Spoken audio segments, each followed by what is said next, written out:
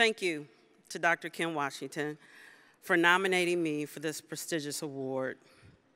And thank you to Career Communications Group and the Women of Color Award Selection Committee for selecting me to receive the 2018 Technologist of the Year.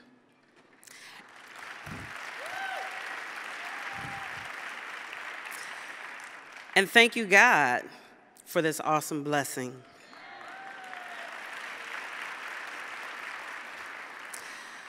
I grew up on Prairie Street in Detroit in a middle class family in a neighborhood where all of the parents on the block considered you their own.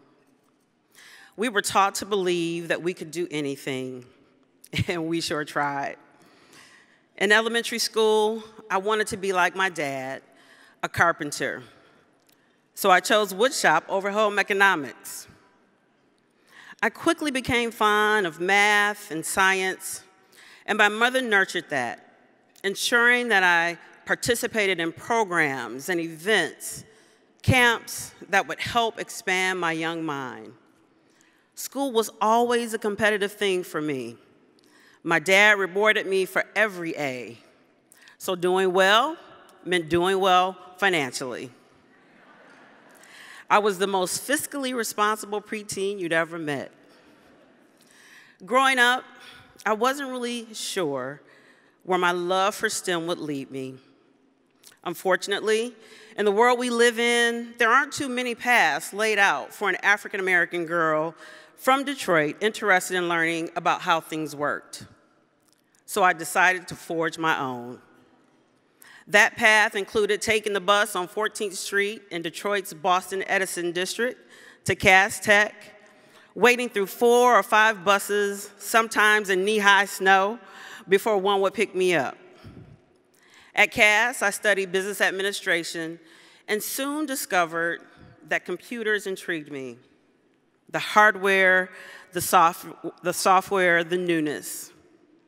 In high school, my mother made sure that I knew that not going to college was never an option. She had much greater plans for me than I had for myself. When I decided I wanted to study computer science, she recommended instead that I consider electrical engineering. She knew that a degree in electrical engineering would allow me the flexibility to work on computers or any other electrical devices that piqued my interest. My mother was insistent that I remain close to home, and I did. Attending Lawrence Institute of Technology, now Lawrence Technological University, here in Michigan. My family was not in a situation or a position to pay for college, so I secured funds through scholarships, grants, and loans. I started my Bachelor of Science in Electrical Engineering at LIT, excited and eager to make my mark and I received straight A's. However, during my first semester, my world came to a, came, uh, was shattered, I'm sorry.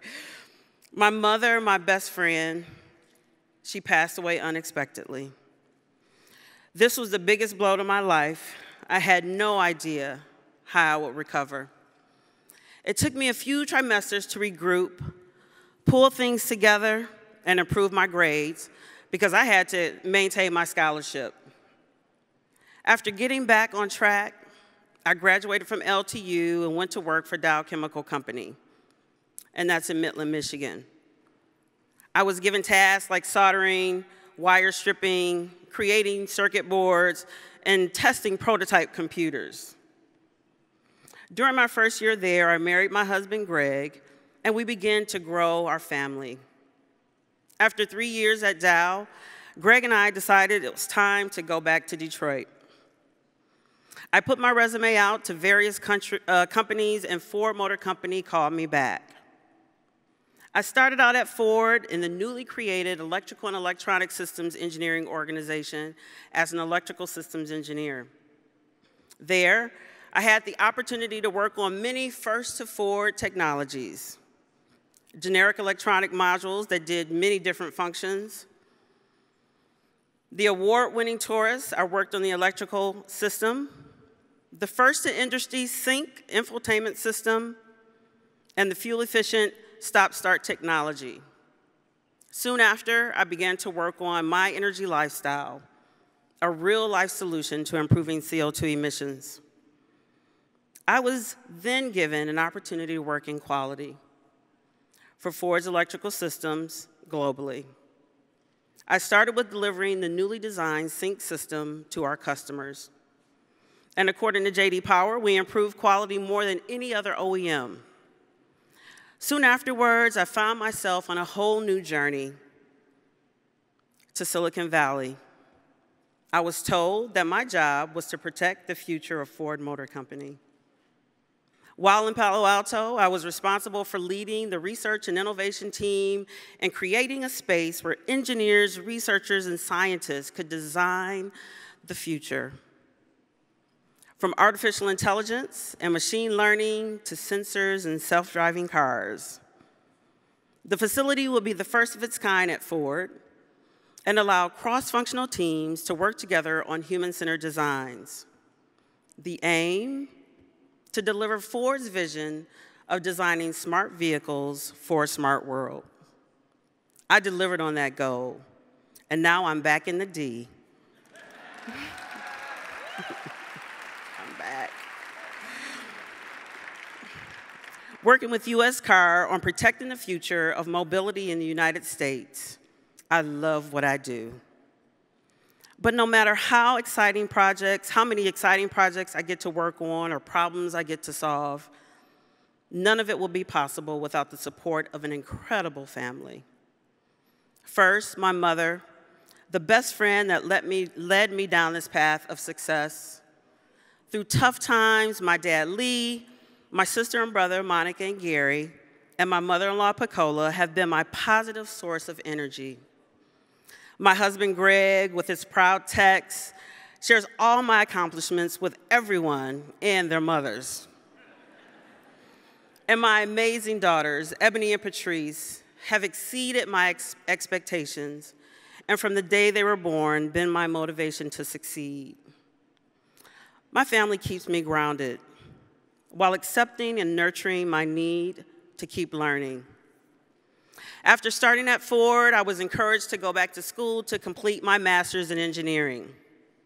And because of who I am, I completed two masters, both in engineering. One in electronics and computer control systems, and the other in engineering management. After working in such a male-dominated industry for so long, you want to wake up feeling like a boss. So I made it happen. Now I'm back in school working on a PhD in industrial and systems engineering.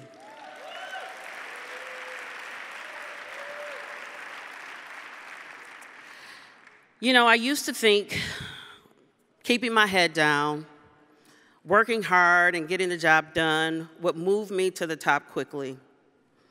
I wasn't aware of the politics involved and how they impacted my ability to progress.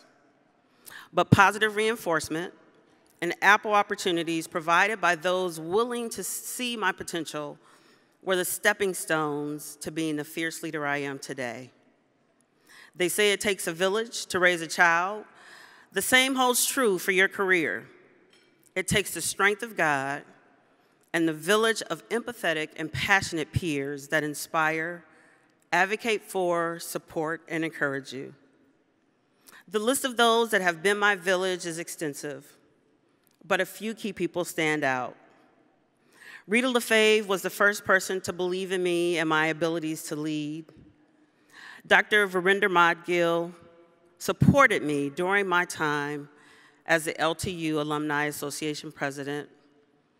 And lastly, Dr. Ken Washington took an interest in my career and introduced me to the world of BEA. And for that, I am, in, I am truly grateful. People look at me and think things have been easy, but many trials and tribulations have helped shape and mold me into who I am today. The key is to not let things get to you. If you can't change the situation, change the way you think about it. I haven't made it. I haven't made it this far in spite of being a black woman. I made it this far because I'm a brilliant black woman.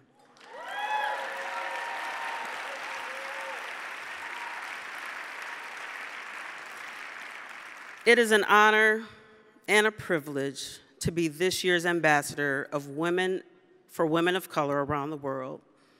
I promise I will do the title justice. Thank you.